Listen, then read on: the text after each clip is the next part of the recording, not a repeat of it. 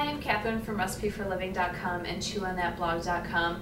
Today I'm going to be showing you how to easily serve several plates at once and also how to stack several plates at once.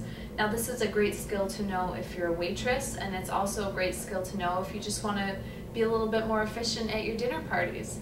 Um, so the first thing you want to do is you want to take your first plate, you want to put it in your left hand. Now you want to hold it so your thumb and pinky are on the top and these three fingers are on the bottom. So you have some support on the top and the bottom holding it there. Then you want to take your second plate and you want to balance it on your thumb and forefinger and your forearm. So it's going to go just like this. This takes a little bit of getting used to. It can be a little tricky at first, but once you get used to it, you know, you can move around, shake it. You have three points of contact, your forearm, your thumb, and your pinky. So once you get used to it, it's not going to go anywhere.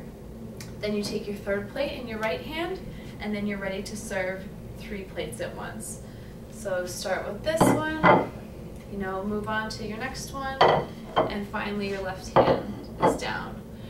When you're actually clearing the plates, it's kind of the same way. Start with one plate in your left hand, then you want to put your next one on your forearm, and then you want to stack all the additional plates right here. Now don't overload yourself, only hold as many as you can hold, but once you get the hang of it, it's not too tricky. So put your next plate here, and then you keep stacking right onto here. Now sometimes there might be a problem because there's food on this plate and you can't actually stack another plate on top of here. So all you have to do in this situation, take a fork, scrape that food onto this plate that's empty, and then you just keep stacking more plates on. So there you go.